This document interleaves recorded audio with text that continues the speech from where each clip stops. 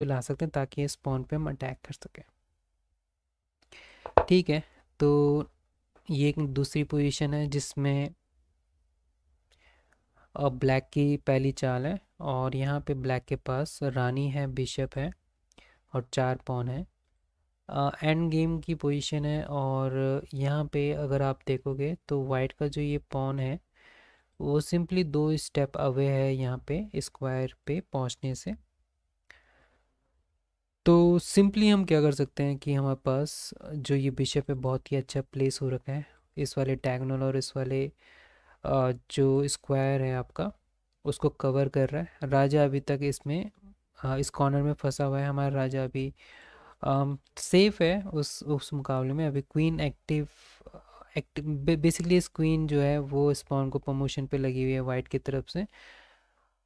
आ, तो हम यहाँ पे अटैक की तरह सोच सकते हैं कि क्वीन जो है एफ़ एट पर ले जाके जो ये वाला स्क्वायर है एफ़ वन का, जहाँ पे चेकमेट का जो थ्रेट है, वो हम दे सकते हैं। तो यहाँ पे क्वीन एफ़ एट पे हम मेट इन वन का थ्रेट देंगे, जो कि डिफेंड हो सकता है केवल इस क्वीन से क्वीन जो है ए सिक्स पे आके।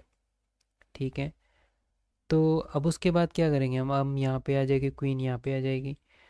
उसके बाद हम कुछ ऐसी थ्रेड देखेंगे जिससे हमको फ़ायदा हो। अब वो कैसे होगा? जब हम क्वीन को ऐसे स्क्वायर पे ले जाएँगे जहाँ पे हम दो अटैक कर सकें। अब दो अटैक क्या होंगे यहाँ पे?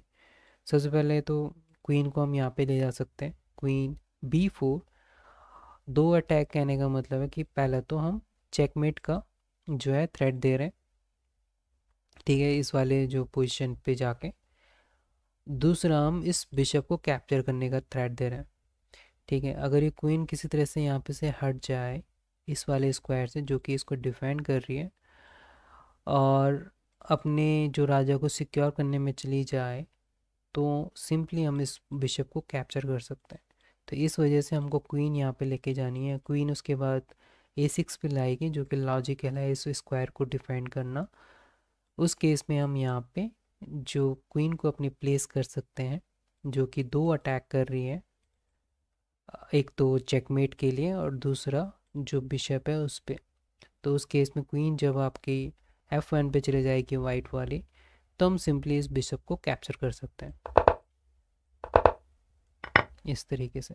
और फ्यूचर में इस पॉन को भी कैप्चर कर सकते हैं।